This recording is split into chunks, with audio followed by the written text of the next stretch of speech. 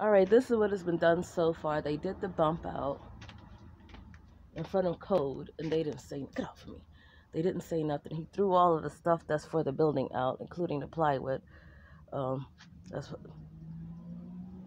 and he put this new cement out because the first cement went. And so we need to give him a 30 day notice to get the hell out of there because literally that wasn't even supposed to be used for him. And we need to clean out all the back, clean out all of this. All the trash needs to get cleaned out and dumped, and that's done. And that needs to get replaced, and, and all this needs to get cleaned out.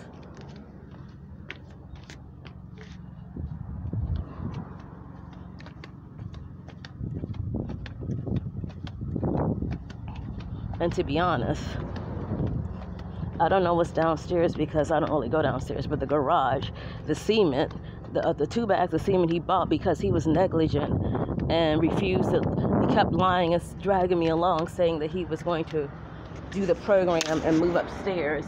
And his girlfriend kept lying and saying she wanted to move upstairs, when in reality, they never planned to come back. And they kept stringing me along. And then and giving me the runaround. Even giving their stepdad the runaround, lying that they was gonna move back upstairs, which is unacceptable.